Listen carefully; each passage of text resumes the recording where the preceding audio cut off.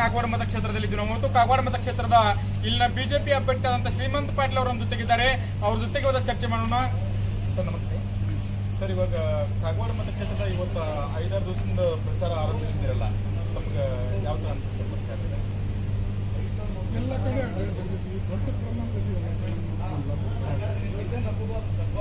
Sir ಜನ ಈಗ ಪ್ರತಿಯೊಬ್ಬರು ನಾವು ಕೇಳಿದಾಗ ಸಹಿತ ನಾವು ಶ್ರೀಮಂತ ಪಾಟೀಲ್ ಅವ್ರಿಗೆ ಓಟ್ ಹಾಕ್ತೀವಿ ಅಂತ ಹೇಳ್ತಾ ಇದ್ದಾರೆ. ಅದ್ರ ಬಗ್ಗೆ ತಮ್ಮ ಅಭಿಪ್ರಾಯ ಏನಿದೆ ಸರ್? ಅದು ಪ್ರಭಾವಿ ನಾಯಕರು ಬರೋದ್ರಿಂದ ಈ ತರ ಆಗಿರ್ಬೋದು ಸರ್ ತಮ್ಮ ಕೆಲಸ ಮೆಚ್ಚ ಜನ ಆ ಥರ ಮಾತಾಡ್ತಾರೆ ಸರ್? ಇದು ಎರಡು ಪ್ರಭಾವಿ ನಾಯಕರು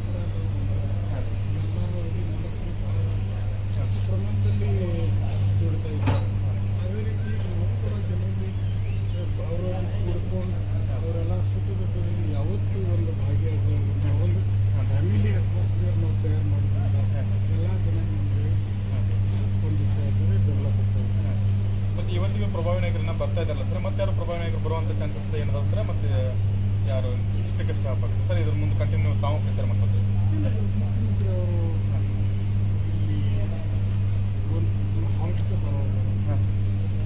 ಒಂದು ತಾರೀಕು ಅನಂತಪುರ ಸಭೆ ಎರಡನೇ ತಾರೀಕು ಒಂದು ದೊಡ್ಡ ಬೃಹತ್ ಸಭೆ ತಗೊಳ್ತಾ ಅದು ಮಾಡಿ ಮೂರು ತಾರೀಕು